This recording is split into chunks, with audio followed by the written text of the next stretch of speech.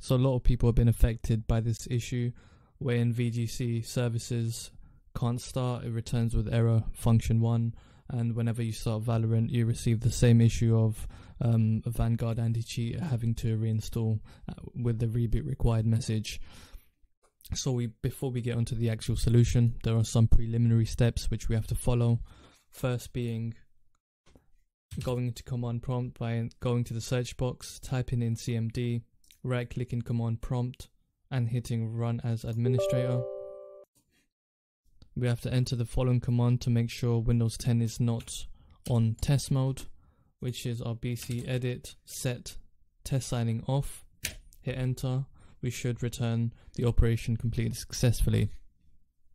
Let's close that off. The second step we have to do is verify our drivers. You can do this two ways, either typing in a command sigverif and hit and run, or you can do this in CMD. There'll be more information on that in the description. So if we follow what it says here to maintain the integrity of your system, if it's signed or not, hit start. This is essentially going to check for unsigned drivers. It could take up to a few minutes, hopefully not too long.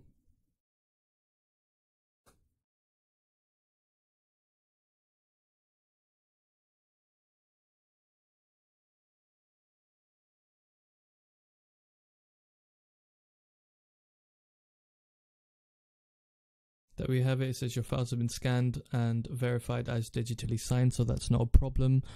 Um, if you don't receive this prompt box and there are files, sorry, drivers which are unsigned, what you have to do is either update those files, download the newest version of those files, or delete them altogether. There'll be a, a uh, link on how to do that as well. Now to get onto the actual solution, what we're going to do is download the old version of Riot Vanguard and essentially replace what we have already. So there's a link in the description to a Dropbox folder. We're going to click that and it should prompt a download. I've downloaded this about four times.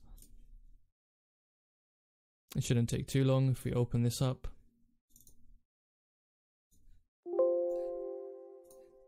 So these are the files you already have in your normal Vanguard, except for the files we've downloaded now are from a previous version. As you can see here, it's exactly the same.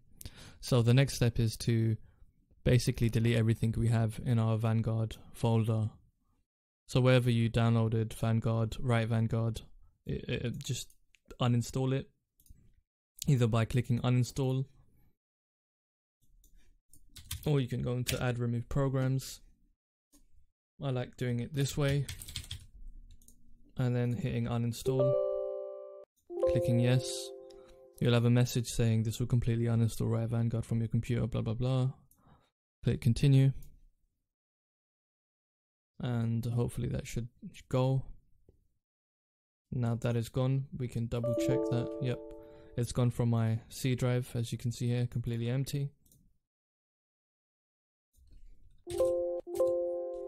Yep, it's gone. So the next thing we have to do is create a new folder in your C drive program files or wherever Riot Vanguard was before.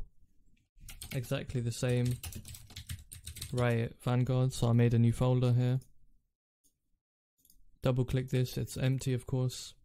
And we need to extract all our files which we downloaded into the new folder we created.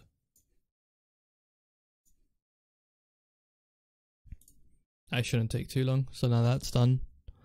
The next step is we need to run VGC as administrator. So if we right click this, hit run as administrator, click yes. And then we're going to give it about 10 seconds and then we are going to restart our machine.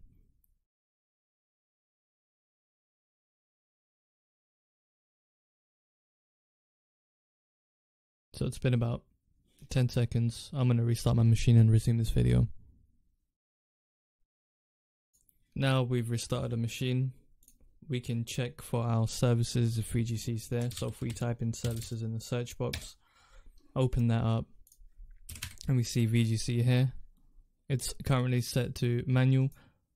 What we need to do is right click VGC, hit properties, startup type, change that to automatic, hit apply, hit OK. Now we need to reboot one more time for this to take place. So that's what we're going to do and then resume this video once more. Okay, I hope everyone's rebooted successfully. Now we can check if Vanguard is actually working. So if we type in services again, we look for VGC, it's now running, whereas before it would return error code, uh, error code 1. Now we can see if this actually starts, so if we hit Valorant,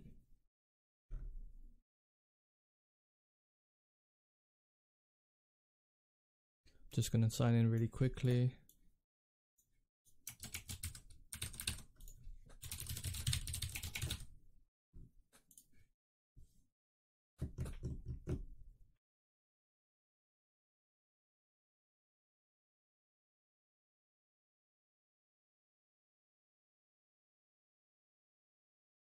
Hopefully this doesn't take too long. Yep, there we go. We hit play.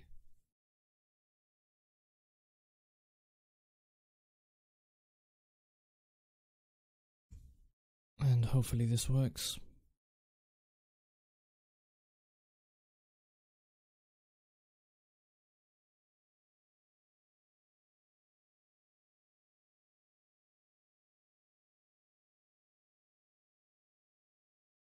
I mean, it would have been awkward if it didn't work. It would have been such a waste of a video, but there we go.